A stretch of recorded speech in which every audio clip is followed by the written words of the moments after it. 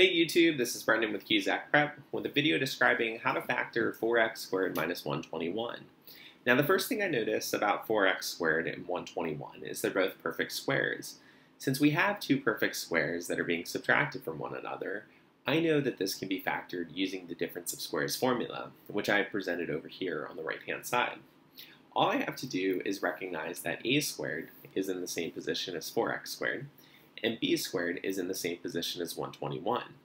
So a would be the square root of 4x squared, which is 2x, and b would be the square root of 121, which is 11. So I just do 2x plus 11 times 2x minus 11 by plugging in for a and b into the right side of this equation. And that's how you factor 4x squared minus 121 using the difference of squares equation. Thank you for watching. I hope you enjoyed this video.